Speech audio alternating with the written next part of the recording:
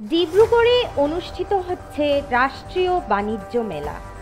দেশে করোনা মহামারীর জন্য দীর্ঘ লকডাউনের পর স্থানীয় ব্যবসায়ীদের অবস্থা বেহাল হয়েছে।